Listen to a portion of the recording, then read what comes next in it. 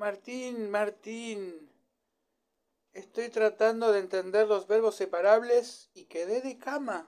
Me dice una alumna y yo, por supuesto, me explicaron a mí que, las clases las voy a considerar desde boca a boca. Entonces me acuesto con, con, esta alumna, le preparo un video desde mi cama para explicar lo que son los verbos separables. Ah, ¿Qué, qué, qué me hizo quedar a mí de cama? Estoy en shock. ¿Por qué? En Instagram una me pide amistad, una chica, me dice, qué placer ser tu amiga, este, yo soy norteamericana, yo, ¿y vos cuántos años tenés? ¿Tenés hijos? ¿Sos casado? ¿Por qué quieres saber eso? Dice, bueno, porque quiero ser tu amiga. Digo, mira, suena bastante sospechoso. Suena estafa. Me contestó, es una estafa y Dios te salvó.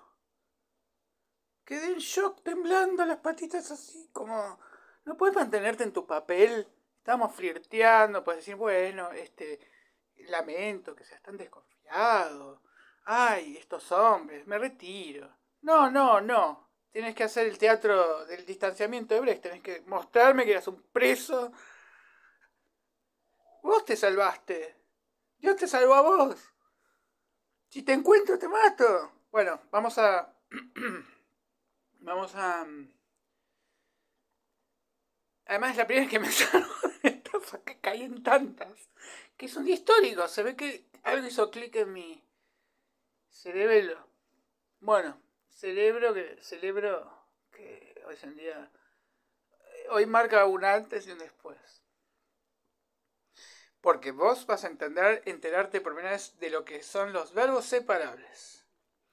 Los phrasal verbs en inglés son, por ejemplo, make up, que no sirven muy pedagógicamente de una chota, porque ¿qué es make up? Puede ser inventar algo. Ah, you made that up. Puede ser maquillaje. Puede ser compensar. I will make it up to you. Así que, no sé, porque hay que refugiarse en inglés, que es supuestamente más fácil. Understand. Pararse abajo, que significa entender. Bueno, supongamos que entonces el inglés nos va a servir señeramente de guía. Pensemos un poquito. Existen verbos en inglés, por ejemplo, to see, que es ver, foresee es prever, igual que en castellano. ¿No? Porque viene de before, ¿no? No viene de Ricardo Ford, claro que no. Bueno, yo espero que ustedes a este videito no les lleguen los sonidos de cloaca que tengo del baño del lado. Eh, porque si no realmente vamos a tener que hablar de vuelta. Pero quizás haya un efecto estereofónico que impida eh, que las delicias del día... En fin. Los verbos separados en alemán son verbos que tienen un prepucio, perdón, prefijo. Perdón, me quiero cortar la Discúlpenme por el lapsus linguae. Eh, tuve un prejuicio, un prejuicio, quise decir.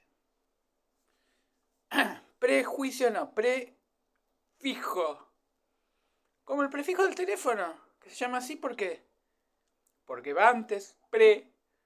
¿Y por qué está fijo? ¿Y qué significa fijo cuando hablamos de una palabra? Que tiene un significado que no importa dónde pongamos esa palabra, el significado permanece fijo.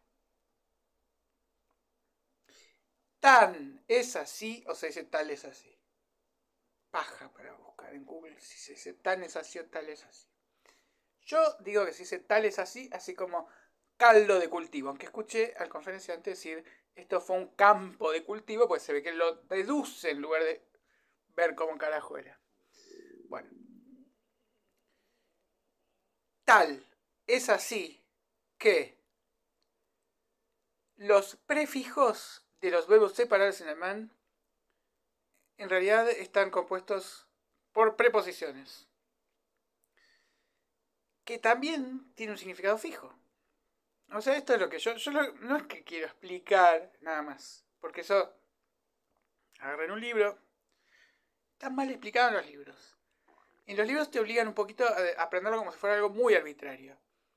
Y ya bastantes cosas arbitrarias hay, como por ejemplo los géneros, los artículos, ¿no? Porque sí, las reglas de las grandes afluencias son todas der, der, nein, o sea, los ríos son masculinos, con unas pequeñas 503 excepciones. Ah, una carajo, eso no es una regla, y más excepciones. Bueno, la gran mayoría de cosas así, lleno de arbitrariedades, hay que aprender de memoria. Pero justo los separables pertenece a la parte más mágica del idioma, a la parte que tiene tanta creatividad que nadie la usa, pues en Alemania nadie quiere ser creativo, nadie quiere ser original. O sí en el sentido etimológico de ir al origen, pero no en el sentido innovador. Entonces, este, lo más hermoso del idioma alemán, que es la combinación posible, la plasticidad, tanto de los sustantivos, por ejemplo, doppelgänger, como de los este, adjetivos, por ejemplo, binnen, fleißig, eh, como de los adverbios gerundinos, por ejemplo, de nicht zu spät kommende, no sé qué, o sea, el no tan tarde viniente. Todo eso es maravilloso. Eh, Nadie lo quiere aprovechar. Los verbos también se pueden eh, reforzar, eh, tiene el mismo sentido. Además es como salpimentar una masa madre. Y eso es lo que hace el prefijo. Vamos ahora a la sintaxis del verbo. El verbo va siempre en la segunda posición. Y el prefijo va atrás de todo. Vamos a ver un ejemplo. Yo me levanto a las 7 de la mañana. El verbo es aufstehen, pero el auf era al final de todo. Entonces sería ich stehe um 7 Uhr auf. O sea, yo me levanto a las 7 horas le. No es el mejor ejemplo porque no existe el levanto que no signifique por sí mismo algo. ¿Me entienden ustedes? Claro que no me entienden ustedes. Este video hay que hacerlo todo de vuelta. Bien.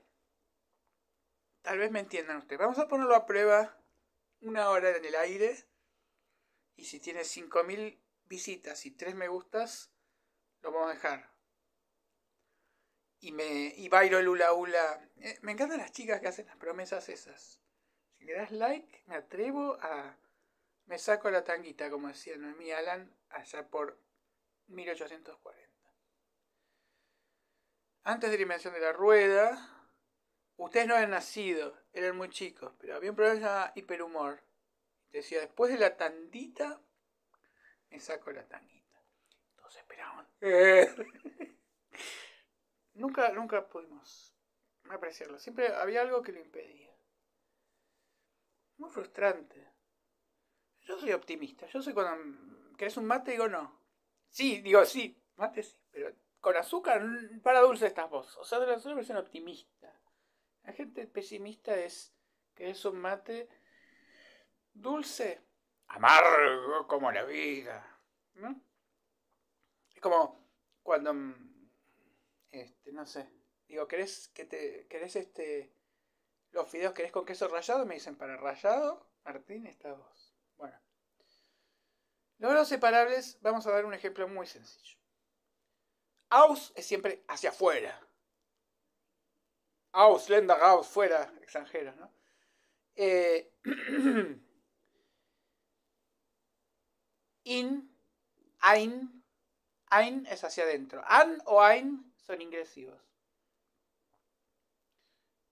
Y un es con una idea de circularidad. Entonces, en estirar, está bien que es un verbo que significa otra cosa.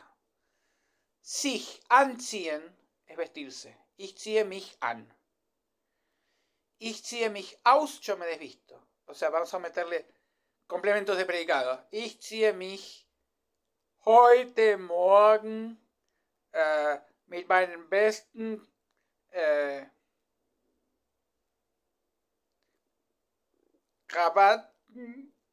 an. Y si fuera aus, es lo mismo, pero que me lo saco. An que me lo pongo, aus que me lo saco. Y un que hago un cambio de ropa. Ich werde mich jetzt umziehen, que puede ser mudarse de casa o cambiarse de ropa. Parecido. Bueno, no era tan sencilla esta explicación porque me recontra genial hacerla, pero, pero, este, quizás algo, algo quede, ¿no? Como era, enseña, enseña, que siempre algo queda. Mi gran maestro me lo enseñó, me lo transmitió. El del Dolce Farmiente se llama. Entonces, eh, oh, si yo me subo a un colectivo en alemán, ¿cómo sería? Ich steige ein. Steigen solo es escalar, trepar. Por ejemplo, steige einen Berg. Escala una montaña. Pero me subo un colectivo, me entrepo. Y me bajo el colectivo y steige aus. Ich steige vom Bus aus. Y si yo viajo en más de un colectivo y fare en Bussen, suena viejo en tetas, porque es muy parecida a la palabra Bussen que Bussen. Y eh, si digo viajo, eh, hago transbordo combinación, ich steige um. Ich steige en la nächste Bushaltestelle um und nehme dann die U-Bahn. ¿eh? Me bajo en la parada. Yo te bajo la parada, te la bajo. Es así. Es así. Cuando uno da clases de alemán, se deserotiza. Espero que les haya sido de enorme utilidad. Es decir, lo bueno de los verbos separables es que se pueden... No tienen que estar viviendo juntos siempre. Y gracias a Alfonsín que hablar de los infiernos porque la iglesia los comulgó a él, a Estoraño, todo lo que votaron la ley del divorcio en 1985, también. Esa no era la lección que queríamos dar, pero sobró tiempo porque faltaron los chistes que teníamos preparados, que eran lo mejorcito, de lo mejorcito. Pero bueno, Dios te salvó de mis chistes.